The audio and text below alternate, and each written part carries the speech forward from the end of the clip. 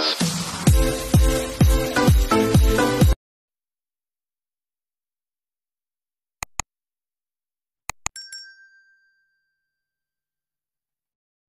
po. Uh, ngayon pong hapon, nandito kami sa tanim namin ng talong. Uh, inaalis na po namin talong. Uh, kasi nga po, uh, magtatay na po kami ng sunflower. Bali, inihanda na po namin ito sa natataniman ng sunflower. Uh, kasi nga po, yung sunflower, uh, 120 days siya bago siya ma-harvest. Kaya po ayun, uh, tatay na po kami para po mata, medyo matapat po sa, sa undas. Kasi po nga po, eh, mabili po yung bulaklak no kapag ganun panahon. Ayun po, kaya ito po yung tinatay, ito po yung ginagawa namin ni Kaimon. Ayan na po, uh, dito po kami maglalagay ng tudling. Uh, bali, ililipat ko na po yung tudling kasi po may papaya. O, o kaya papagin na ako sa papaya. Uh, pinag-iisipan ko nga po kung saan ko po ilalagay yung ano, kung saan ko po ilalagay yung sunflower. Uh, dito po isa sa lugar na to. Uh, siguro dito po yung isa uh, baka po laktawan ko na po yung, ano, yung papaya kasi nga po eh, magigit na po sa papaya baka po masiksik yung papaya or uh, ayun nga po yung sunflower po alin po sa dalawa kung sino masisiksik kaya po ang gagawin ko uh, dito lang po ako maglalagay ng isang ano isang tudling tapos isang tudling po dito bali po sa lugar na to dalawang tudling po dito at uh, dalawang tudling po doon ang tatanim po namin ito lang po yung gawin na to yan Uh, yan, ito lang lugar na to ang tataniman namin. Kasi nga po, itong lugar na to naman, yan po, may mga sitaw po ako dito. Yung sitaw ko po dito, apat na tudling, apat na tudling. Yan nga po. Uh, gumagapang na po yung mga sitaw. Yan po. Uh, mahaba na po yung talbos niya. Tapos po yan, lalagyan po namin ng balik sa taas. Uh, kasi nga po, makapal yung pagkakatayan ni Kaemon. Kaya lalagyan po namin ng balik sa taas para extra po nagapangan ng sitaw. Uh, kasi nga po, hindi naman po gaganda yan kapag uh, nagkapatong-patong yung, ano, yung bagay ng sitaw. Ayan po yun. Tapos po ito, huhukayan ko po ng pala to uh, para mabuwaghag po yung lupa. Uh, siguro po mga ilang araw pa, uh, pwede na po namin itong taniman ng sunflower ni Kayamon.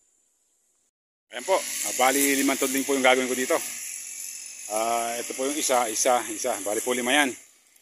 Uh, siguro po yan na lang kasi nga po sa lugar po na to, eh, mababa na po dito, hindi na po pwede magtanim ng sunflower dito. Baka po kasi mag-uulan. Eh, mangyari po eh, mamatay lang, eh, sayang lang. Uh, dito po kasi sa lugar na to, ito po ay mataas. Kaya po ito, pwedeng taniman to ng sunflower. Ayan po. Bali limang tudling na lang po siguro. At saka po sa gawin na to, ang iba na lang po itatanim namin dito, yung hindi na, yung tatanim po namin dito, yung hindi masyadong lumalaki. Para hindi po matabunan yung, yung, yung, building na yan. ah, ganun po yun. Kasi po pagka sunflower ulit nilagay namin dyan, eh matatabunan po yung building na yan, matatago po. Ah, kasi po yung sunflower, masyado po inaabot na mataas. Ah, ganun po yun. Tapos sa lugar na yan, mababa po dyan. Baka po pagka nag-uulan, eh, mapagpagbahayan lang po ng tubig. Say, baka sayang lang po yung tatay namin. Ito po sa lugar na to, sa limang tubig na to, ito po ay mataas. Kaya po hindi po ito matutubig. Ah, yun po yun. Kaya po gano'n lang po gagawin ko. Ah, ito po. eh ngayon po eh, anong oras na? Magkita po oras 4. Kaya po siguro, uh, konting hukay na lang po at saka bukas na ko na po itutuloy uh, bukas po pagkahukay namin ito pipinuhin po namin lupa at saka po ko siguro uh, sa hapon po siguro pwede na po kami magtanim ng sunflower uh, yung mga butok po ng sunflower eh, nasa bahay po yun. Uh, nakalagay pa po siya sa bulaklak. Hindi pa po tinatanggal yung mga buto sa bulaklak. Uh, kasi nga po ang nangyayari kapag kain sunflower yung buto ng sunflower uh, inalis sa sa bulaklak niya hindi po tumutubo ng maganda. Ah, ganun po nangyayari. Kaya po ah, nag-stack po kami ng buto ng sunflower ah, hindi po namin nalis, nalis sa bulaklak. Ah, inilagay po lang na po namin sa isang box.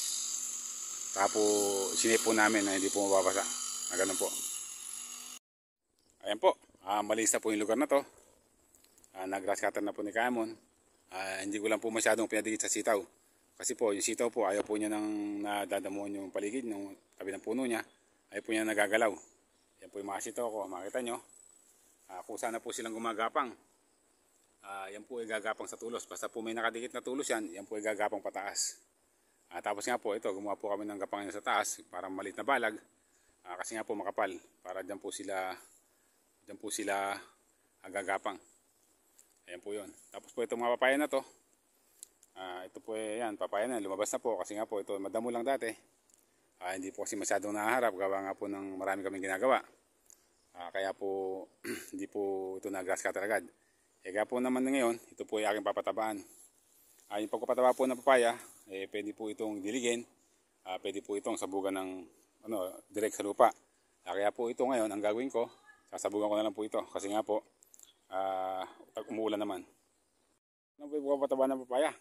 Dapat po pagka inityahan ng pataba, medyo malayo lang po sa puno. Ah, kasi nga po kapag ka nakadikit sa puno yung pataba, ah, maaari po siyang ma, ano, maaari po siyang masaktan. At saka pwede mamatay po siya kapag ka po nasobrang sa pataba. At saka nangyayari po sa iba, kumukulot po yung dahon. Kaya po yun po nasosobrang sa pataba. Pero yan, ganyan lang po ang tama. Ilalayo lang po na ilalayo lang po sa puno. Po dapat, konti-konti lang po yung pataba sa papaya. Hindi po niya kailangan ng masyadong maraming pataba. Saka po ang ginagamit yung pataba dyan, mga ano lang po, mga oh, puro po triple 40 lang ginagamit ko. Yung po ang complete na pataba na. Hindi po ako gumagamit yan ng ito din. Yan po.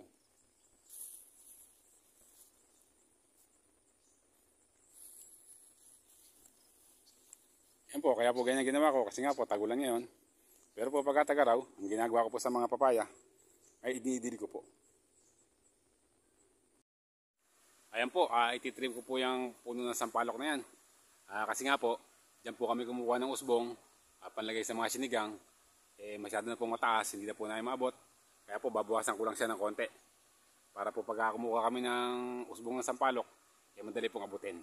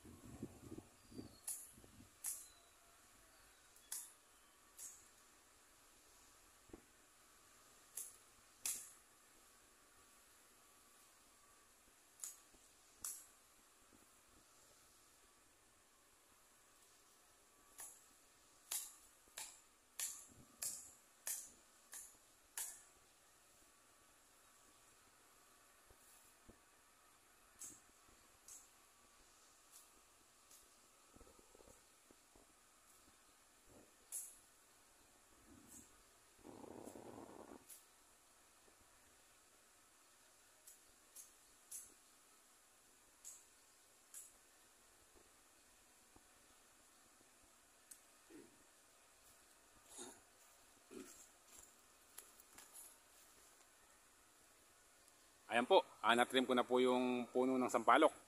Ah, ganyan lang po dati kalakihan. Eh humaba lang po sa kanya kasi nga po hindi na-trim. Eh ngayon po, mas ano po siya, lalago pa po siya ngayon.